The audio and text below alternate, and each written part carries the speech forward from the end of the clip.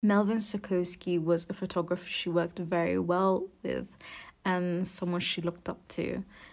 And he was one of the people she felt ashamed to have let down. My big priority was paying back Melvin Sokolsky. I urgently saved tips. It tortured me that I had disappointed him, and after all his doubt, I was excited to show him I'd made it back. He was surprised to hear from me. He said I could come over that day.